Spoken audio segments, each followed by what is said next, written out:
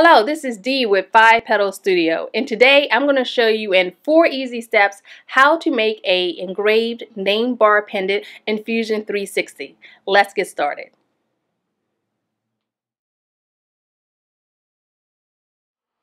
Okay, let's get started in Autodesk Fusion 360.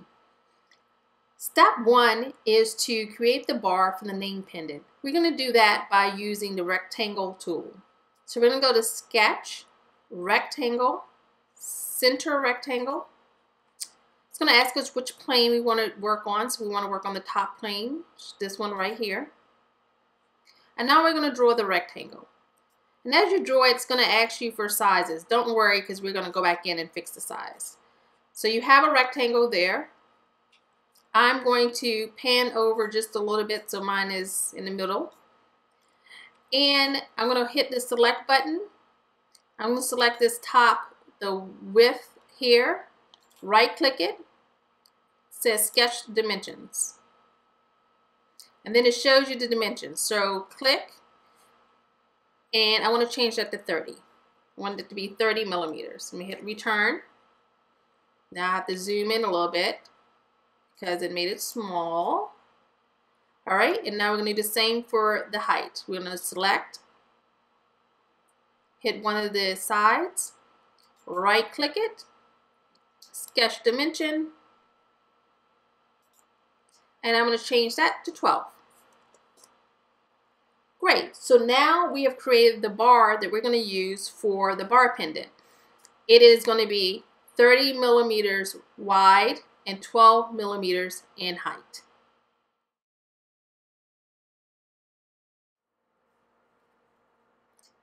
Step two is to create the circles or the holes for the jump ring and the chain. To do this, we're going to create two holes, one on each side of the top of the pendant. One here and one here. We're going to use the circle tool, but I want to make sure that my circles line up to each other or equal. So I'm going to create some guidelines. So I'll start with the line tool and I'm just going to start here and go in and say I want that to be 2.5. And then I'm going to create another guide here. Go straight up. And I want this one to be 2.5 as well. And this right here is where this point that was created is where we want the diameter of the circle to be. So we're going to go to circle, center diameter, put it right on this point, and we're going to make that 3 millimeters. So the first circle is done. We need to get rid of these line marks. So I'm going to say stop sketch. Go back to the top sketch. Zoom back in. I'm going to highlight this line, delete it. Highlight this line, delete it. So we're going to create the second circle doing the same operation. So we're going to go to sketch line. Say we want to be on the top plane. And we're going to start here, draw a line in 2.5. I'm going to pan it over a little bit and zoom in so I can see better. Now I'm going to go to line Start right there. Now I want to draw a line that's 2.5 again. So this is our point for the second circle. Sketch, circle, center diameter, right here on the circle. Make that 3 millimeters. Second circle is done. We just need to get rid of these guidelines that we don't need anymore. Highlight one, delete. Highlight the other. Oops. If you ever make a mistake, you can do the un undo right here. And want to recenter this and highlight second and delete.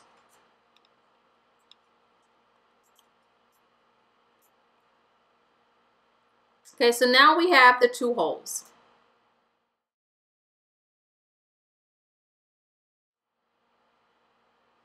Step three is to make this into 3D. So we're going to extrude it. So we're going to go to Create, Extrude. We're going to select the pendant.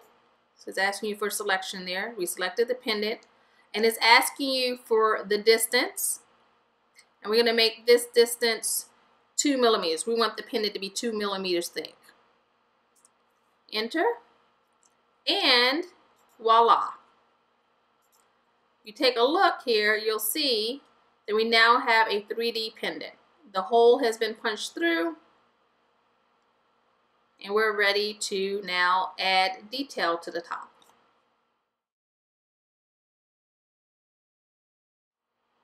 Step four is to round out the edges. We're going to do this before we add the detail.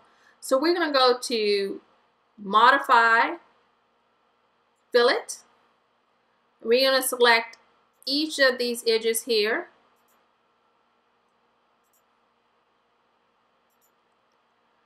And we're going to make the edges about, let's just say 0.5. And that just rounded out the edges a little bit. If you take a look here, you'll see. Okay? Step four is to add your name to the top of the pendant here. So we're going to go to Sketch, Text. I'm going to click on the pendant and the text box opens up here on the right. So we're going to start typing. I'm going to name mine Five Petals. You can use this circle here to rotate. It shows up upside down. And this is where you can change the font. I want to change the height because this is too big. I'm going to make it 4 millimeters. And actually, I'm going to use this little button here to move it around. I actually want it to be a little bit bigger. So let's do, let's see, 8 millimeters. That's too big. All right, let's do 6 millimeters. Hmm, 5. There we go. Let's move this here. Position it where you want it to be hit enter.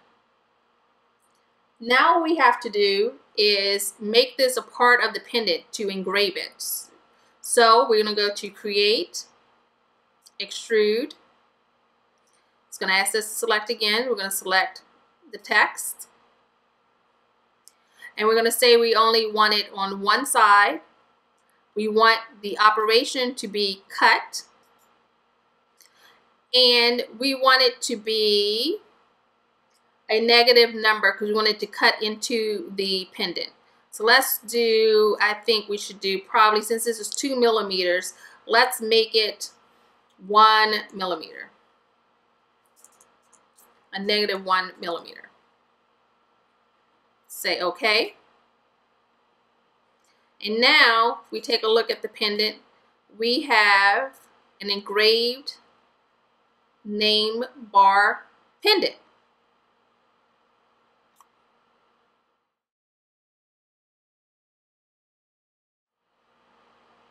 Now all we have to do is save this to the cloud and then export it as an STL file so we can have it printed. So we're going to save. It's going to ask you to name it. So name bar pendant. I, you're going to ask you which location. I want mine in my folder for courses. Now you know it's saved because the name shows up here. So you're going to right click here and we're going to say save an STL it's going to ask me, uh, make sure the refinement is high. If you have an at-home printer, you would click here and your printer option will come up. But I'm going to print mine at a 3D printing service.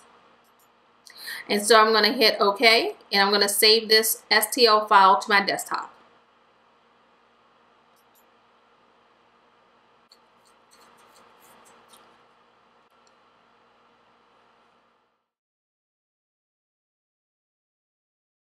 Congratulations! In four easy steps, you now have created an engraved name bar pendant. You can now have your STL file printed in any material that you want.